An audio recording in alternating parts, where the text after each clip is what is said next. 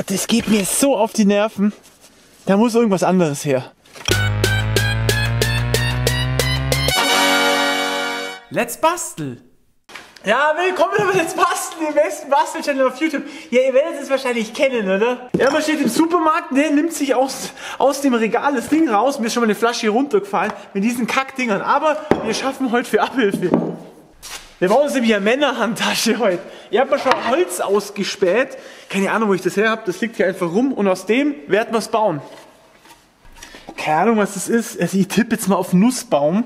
Jetzt müssen wir aber erst mal das ganze Grad schneiden, dass wir da überhaupt irgendwas bearbeiten können.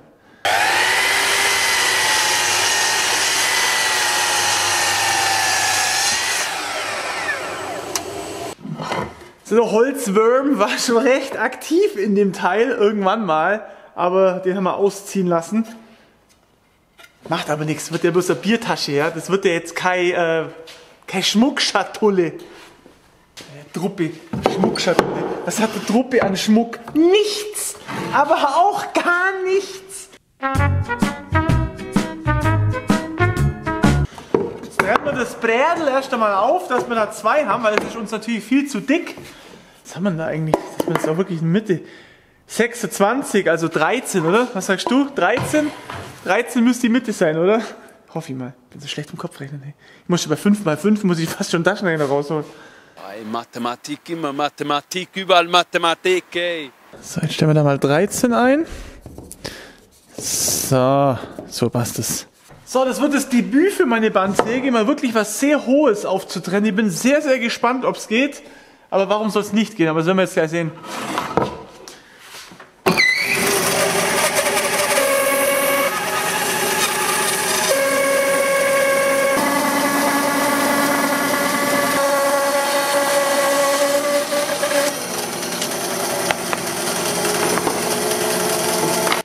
Jetzt haben wir nämlich Bretter, die so ungefähr auf 10 hobeln wir die jetzt runter. Dann haben wir unsere Grundbretter, dann können wir die perfekte Männerhandtasche bauen. Ich hoffe, das reicht. So, jetzt mal gesagt, die hobeln wir jetzt so auf, keine Ahnung, 10, 11 Millimeter. So, wir fangen mal größer an, so, keine Ahnung, bei 12, 13 fangen wir mal grob an, dann holen wir uns runter. So, runterhobeln kann man nämlich immer. Hinhobeln kann man nichts, also zumindest habe ich es geschafft.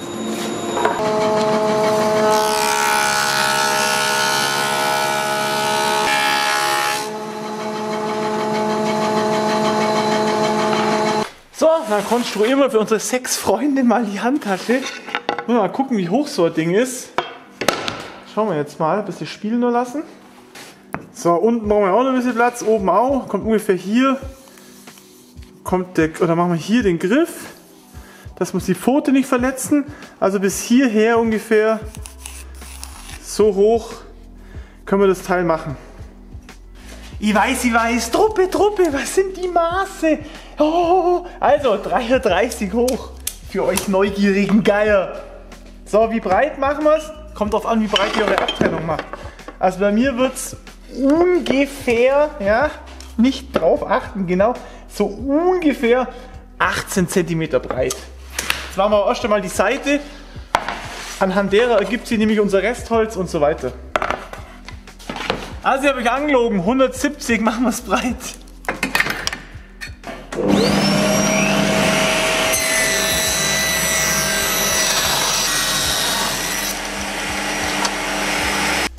einmal mit dem Hobel drüber, dass wir die Sägemarken entfernen.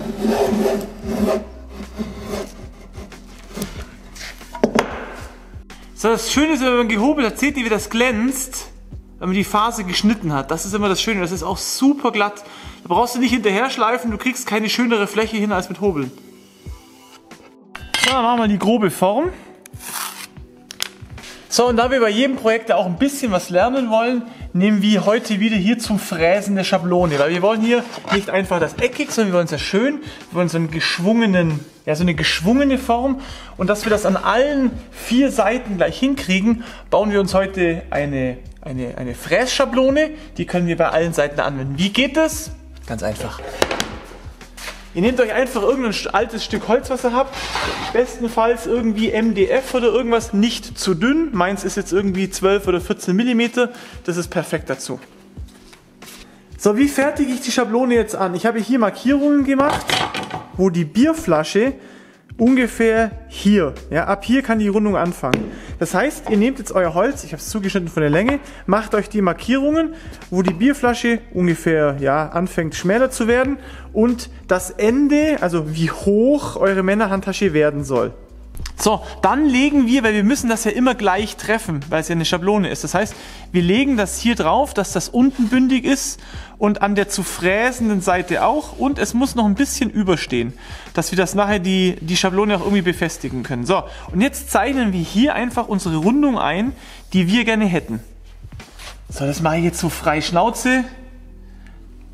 So, irgendwie so. Ja, nicht zu dünn. So, so ungefähr, ja. Wir können es ja nachher noch nachschleifen. Also das macht jetzt nichts, wenn ihr das nicht perfekt trefft. Wir müssen die nachher sowieso noch bearbeiten, die Schablone.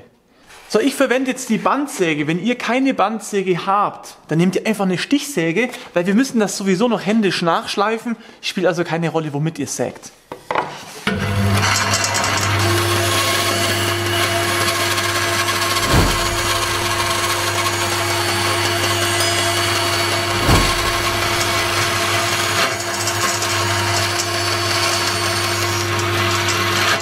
So, ihr seht jetzt, wir haben Buckel noch innerhalb dieser, dieses Radius. Der Radius ist noch nicht wirklich perfekt. Jetzt schleifen wir einfach nach, bis er perfekt ist. Auch diese Rattermarken, die ihr hier seht, das muss alles raus. Das muss wirklich richtig glatt sein am Schluss.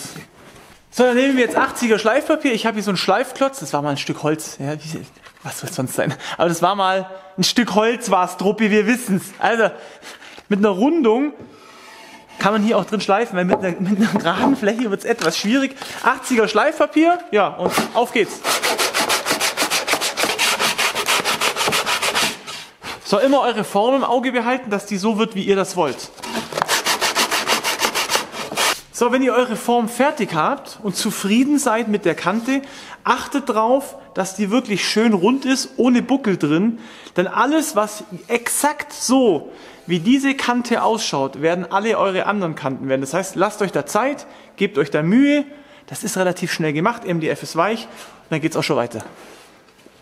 So, in dem Fall schneide ich meine Bretter jetzt mal auf Länge oder in dem Fall Höhe zu. Das ist so das Erste, was wir jetzt machen, bevor es hier irgendwo weitergeht.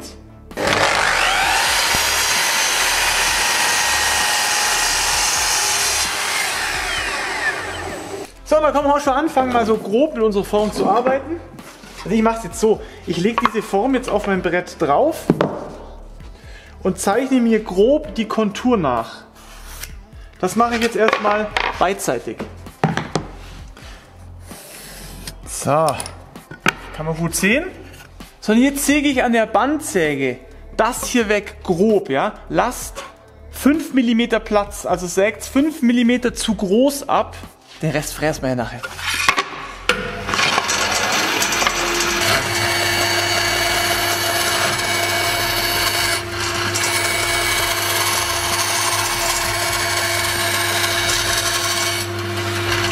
So, wenn wir unsere Frühstückbretter, ja schon fast was dieser Frühstückbrett, wenn wir unsere Frühstückbretter dann fertig haben und die Schablone drüber legen, werden wir sehen, wir haben hier einen Überstand. Aber den wollten wir ja. So, jetzt kleben wir die Schablone erstmal auf unser Frühstücksbrett drauf. Wie mache ich das? Ich nehme hier ganz normal doppelseitiges Klebeband, aber ein Tipp. Nehmt wirklich, wirklich wenig, ja. Das Ding habe ich gerade beschlossen, halbiere ich nochmal. Es geht nur darum, dass diese Schablone nicht rutscht. Um mehr geht's nicht. Weil die Schwierigkeit ist nämlich, wenn ihr sagt, oh mein da, oh ich wollte sie halbieren, Truppe. Weil wenn ihr sagt, oh mein ich klebe da ein halbes Ding drauf, ihr kriegt es nicht mehr ab. Und das Problem kann auch sein, das hatte ich bei einem anderen Projekt mal, dass mir das am Holz kleben geblieben ist und die Holzfaser angerissen hat. Also seid da wirklich, wirklich, wirklich sparsam. Wie gesagt, es geht nur darum, dass diese Schablone nicht verrutschen kann. Um mehr geht es hier nicht. So, jetzt kommen wir zu meiner Lieblingsgeschichte, dem Fräsen. Es gäbe jetzt zwei Alternativen, was ihr an Fräse wählen könnt. Ich zeige euch einfach mal beide. So, wir haben jetzt hier zur Auswahl einmal einen Bündigfräser mit Anlaufkugellager unten und mit Anlaufkugellager oben. Wir können beide nehmen. Warum? Die Frage ist einfach nur, wie haltet ihr euer Material? Ja? Haltet ihr euer Material so rum, das heißt, dass euer euer echtes Brett oben ist, dann würde ich diesen Bündigfräser nehmen. Denn der Fräser hier, dieses Kugellager, läuft die Kontur unserer Schablone ab. Ja, unsere Schablone wäre jetzt unten in dem Fall. Also muss auch, ich stelle mal die Oberfräse runter, also muss auch, hier fährt das Kugellager ab, also muss auch unsere Schablone unten sein. Das Ganze kann ich aber auch umdrehen. Bedeutet, ich nehme ein Anluftkugellager oben, drehe mein Material um und fahre einfach oben meine Schablone ab. Also das bleibt euch überlassen, welchen ihr habt oder welchen ihr nicht habt. Ich mache es ganz gerne so. So sehe ich die Schablone und ich sehe, wie das Material unten abgefräst wird. Also, let's go.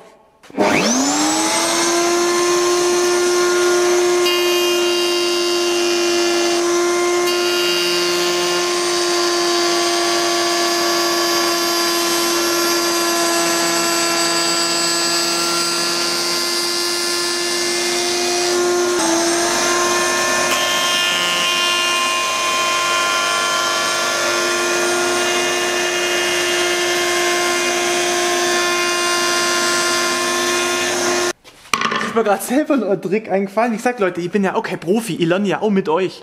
Ähm, oh, ihr seht schon, wie schwer das weggeht. Nur von diesen zwei kleinen Dingern. So, jetzt könnte ja theoretisch, ja, könnte es ja sein, dass wir verrutscht sind oder was weiß ich. Jetzt nehme ich das hier, wo ja beide Seiten gefräst sind, und klebe es auf das hier. Und dann können wir uns sicher sein, dass wenigstens diese beiden Teile wirklich 100% gleich in der Form sind. Und immer schauen, dass diese, dieses Lager auch wirklich abläuft und dass die Klinge auch wirklich über das Material hinausreicht. Das ist auch noch wichtig.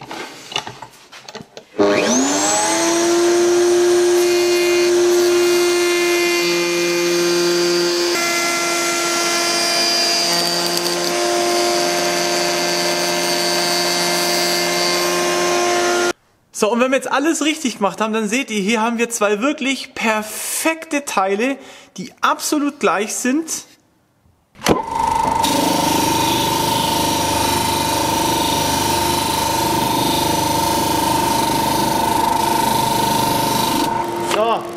jetzt haben wir da noch eine Rundung angeschliffen. Wenn ihr übrigens den Tellerschleifer nachbauen wollt, was wirklich super einfach geht, ich verlinke euch die Pläne unten in der Videobeschreibung. Das Ding habe ich schon jetzt zwei oder drei Jahre. Ich liebe diesen Schleifer und er kostet euch so gut wie kein Geld. So, um die Kanten jetzt hier, die ihr seht, die noch nicht wirklich schön sind, wir könnten natürlich Schleifpapier nehmen, aber wir wollen uns ja verbessern. Und wir nehmen heute eine Ziehklinge. Das geht nämlich viel besser als Schleifpapier. So, wie macht man das? Ganz einfach, man zieht drüber und kriegt dann wirklich eine sehr, sehr feine Oberfläche. Man hört auch schon, wie es zieht, ja, wie die Späne sich bilden.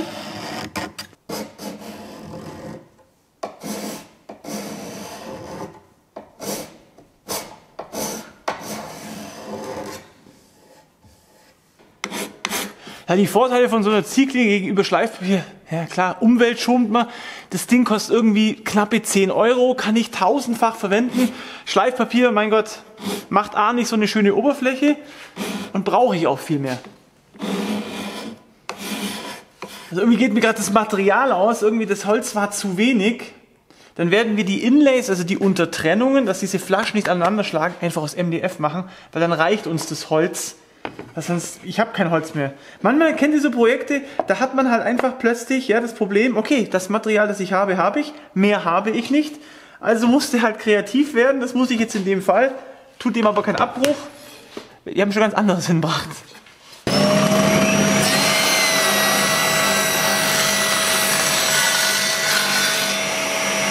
So, das sind die Leisten, aber ihr seht schon her, das ist das Klebern, was nicht abgeht. Also ihr müsst, da, das, ihr müsst das Klebern relativ schnell hin und auch schnell wieder wegmachen. Das schleifen wir nachher weg. Aber bloß, als ihr mal gesehen habt, dass das ist das Problem, von dem ich vorher geredet habe.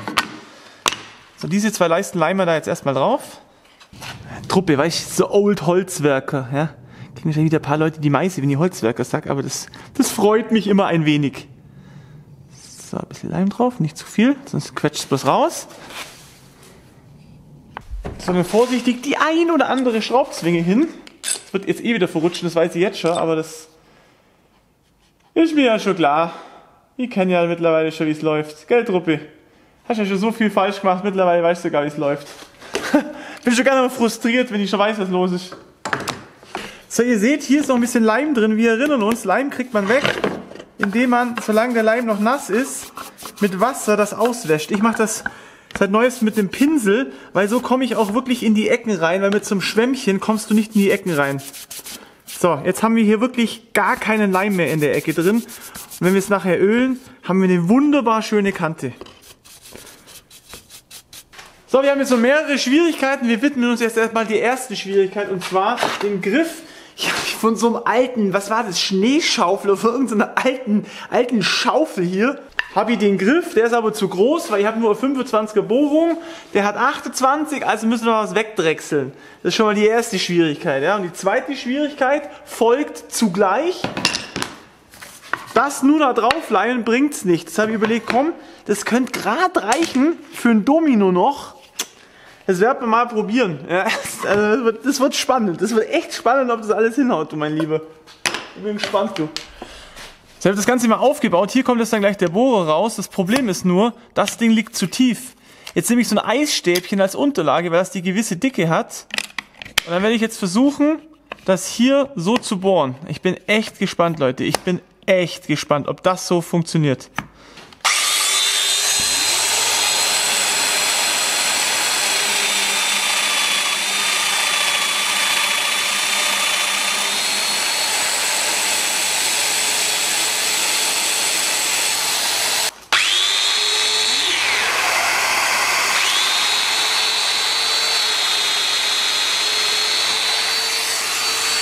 So, das hat mega gut geklappt. Ich bin echt, ich bin echt überrascht, aber es ist echt gut. Manchmal sind Dominos gut, manchmal Lamellos. Also es ist gar nicht so schlecht. Ja, wenn man die ganzen Maschinen da hat, kann man mal sehen, weil vor allem ist es auch verdrehsicher. Das ist ja wichtig. Hätten wir jetzt einen Dübel reingemacht, kann man es verdrehen. Nichtsdestotrotz machen wir jetzt mal die äh, Löcher für den Griff.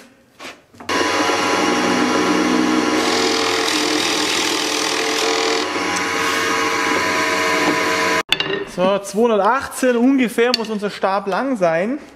Den schneiden wir uns jetzt mal runter. Da seht ihr noch Adlus, ja, das war wahrscheinlich mal die Schneeschaufel.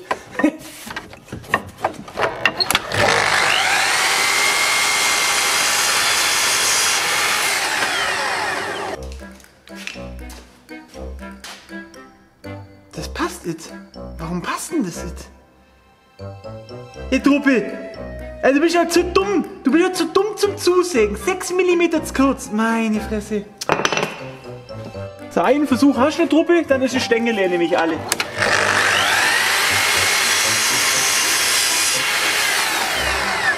Aber so wie ich auch immer wieder in der Community mitkriege, bin ich ja nicht der Einzige, der so blöd ist und ab und zu einfach was falsch zuschneidet. So, jetzt müssen wir den ganzen Kack da erstmal wegkriegen. Ich würde sagen, wir drechseln es erstmal auf Durchmesser und machen es dann schön. Weil bevor ihr das jetzt verhunzen habt, da voll die Arbeit reingesteckt. Ihr wisst, was ich meine. So, willkommen bei Let's Drechsel, der beste Drechsel-Channel auf YouTube. Nicht. Ich hab schon, weißt du was, das erste Problem schon ist? Ich glaube, das passt da schon mal gar nicht rein. Da kriege ich wieder fast einen Anfall. Ah doch, mein Truppe, du bist der alte Drechsler, weißt du? Das ist der Truppe. Ach, und da ist mein Meißel. Kennst du das, wenn er so ein Werkzeug verlegt und es dann wo... Ich habe mir gedacht, wo ist das Ding? Ja, super. Bin ich auch wieder. Können wir gleich einsetzen. Ach, da ist mein Bohrer. Den habe ich auch schon gesucht. Mensch, einfach mal der Drechselbank gucken, da liegt dann plötzlich alles. Tja, Mensch, ist, ist schon gut, einfach was zu machen für sein ganzes Werkzeug wieder. Mann, Mann, Mann. Gott, jetzt geh auf. Hasse es immer, irgendein Werkzeug lost ist, verschollen und man findet es nicht mehr, dann kriegen wir schier the Mais, du. Mimi, Mimi, Mimi die ganze Zeit. So, also, let's Drechsel.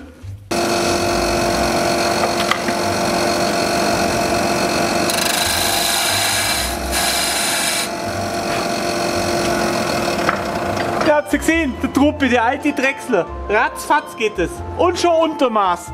Heiliges Blechle normal. An dem Dorn hier ich mal so aufgerissen. Das ist ja wirklich, ihr seht, das ist wirklich eine Spitze, ja. Da haben wir irgendwas gedrechselt dann bleib mit dem Arm volle Kanne an diesem Dorn hängen. Ich habe jetzt den Arm aufgerissen. Ich habe echt gedacht, man muss mich notschlachten. Hier 100 Liter Blut in der Werkstatt. Gut, 100 waren es vielleicht nicht. Aber mindestens 50. Das schon her? Bisschen Untermaß schon. Hier nichts belächlich. Ja gut, egal. Schönste Teil, wir leimen es zusammen. Oder wir probieren es wenigstens. Ich weiß auch nicht, ob es klappt, aber ich hoffe es mal. So, ein bisschen Leim rein. Bei den Dominos muss man halt wirklich gucken, dass du das schön verteilst innen drin. Dass das auch wirklich vernünftig hält. So. Gut. So, jetzt kommt alles zusammen. Alles, ah, das, das wird halten, sag ich dir. Das wird aber sicher halten.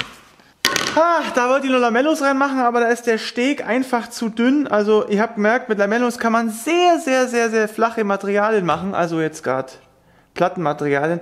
Aber 10 mm, also so kleine Lamellos, hab, äh, vielleicht gibt's die, aber ich habe sie nicht da. Aber das hält auch so. Also wenn alles in Falschlaufen ist, müsste das jetzt alles schön ineinander gehen. Hoffe ich mal, echt. Ich hoffe es bitte, bitte, bitte. Wenn nicht, wisst ihr, was los ist. Aber das schaut gut aus. Das schaut gut aus. Na Leute, der Truppi wird immer besser. Irgendwann, irgendwann wird es auch mal was beim Truppi. Möbelschreinerei Truppi, wenn sie Glück haben, passt es immer öfter. Ach, das wäre doch was, oder? Das wäre doch was. So, sollten wir Ungenauigkeiten haben, die beim Truppi nicht vorkommen, der tut jetzt einfach mal so. Ja? Dann nehmen wir jetzt ganz traditionell den Hobel. Ihr habt den mal gerade frisch geschärft und begradigen das. Das geht super cool, Leute. Ich kann euch wirklich auffordern, kauft euch mal den Hobel. Macht damit mal erste Erfahrungen. Wer mich schon länger verfolgt, weiß, im Trupp ist das auch noch alles relativ neu. Es macht aber wirklich super viel Spaß mit dem Hobel. Ganz ehrlich, Leute. Das ist ja auch gerade solche Kanten hier. Kann man super mit dem Hobel machen. Braucht man kein Schleifpapier. So, wunderbar. Würden wir jetzt die ganzen Flaschen reinstellen ja, und laufen fröhlich durch die Gegend, dann hauen die Flaschen immer aneinander. Bedeutet, wir müssen hier drin irgendeine Art Abtrennung machen, dass die Flaschen nicht aneinander stoßen. So wie wir das machen. So wie wir das machen, ist relativ einfach. Ich habe hier noch ein Stück Buche rumfliegen gehabt. Leider habe ich von dem anderen Holz nichts mehr. Da schneiden wir jetzt erstmal ein Stückle rar, wie man in Bayern sagt. Dann schneiden wir ein Stückle rar. So, und zwar braucht ihr zwei Stückle, die so reingehören. Das sind so unsere Quertrenner, die müssen so reinpassen. Und ein Stück, welches so reinpasst. Und jetzt kommt der Trick.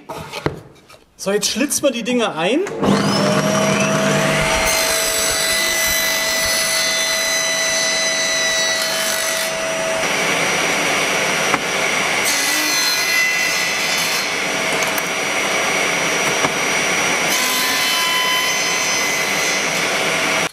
Einmal mit dem Hobel drüber, dass wir die schönen Kanten haben. Dass, uns jetzt, dass unsere Flaschen sich nicht wehtun, wenn wir sie reinstellen. Jetzt, also Hobel, Leute, das geht so gut. Das ist so eine schöne Oberfläche. Du brauchst kein Schleifpapier, nichts. Ach, das ist, das ist einfach herrlich. So, schauen wir mal, ob das alles so hinhaut. Das ist beim Truppi nämlich immer fraglich. Ja, ihr habt schon oft was baut und im Nachhinein stelle ich fest, scheiße, das passt gar nicht. Also wäre nichts Ungewöhnliches. Stellen wir das mal da rein. Meines, meine Truppe, weil ich der alte Holzwerker, 50 Jahre Holzwerkerfahrung, nicht. So, weil wenn wir jetzt die Flaschen reinstellen hier und wir das fröhlich durch die Gegend tragen, schlagen die Flaschen nicht aneinander. Jetzt gibt es aber ein neues Problem. Ja, stellen wir uns vor, ich bin irgendwo in der Pampa, ja, ich gehe spazieren mit meiner Handtasche, la la la, und mir fällt plötzlich ein, hey, ich will einen zischen. Ja, wo mache ich das Ding auf? Ja, brauche erstmal einen Flaschenöffner. Und den machen wir jetzt.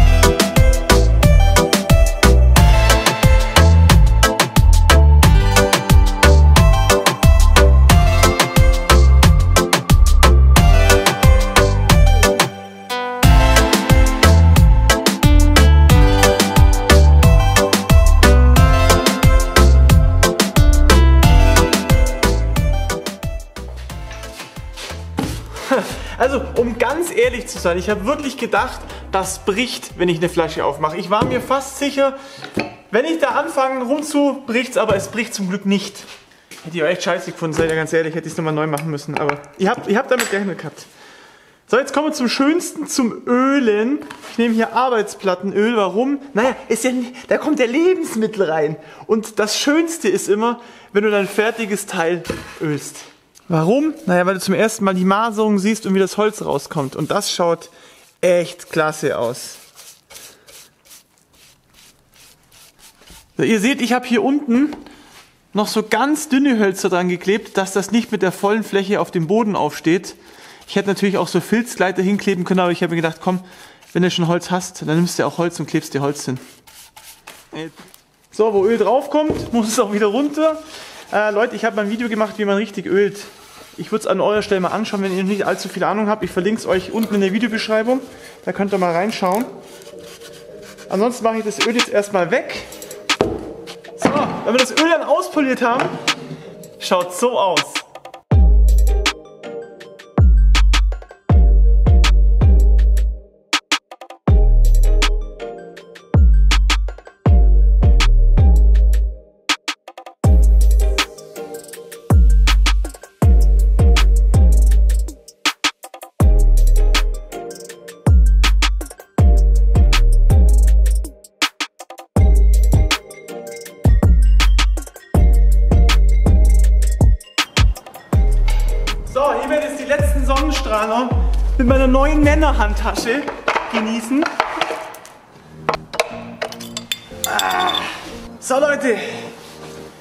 Fürs Zuschauen. Ich würde mich freuen, wenn du beim nächsten Video auch wieder dabei bist und Prost!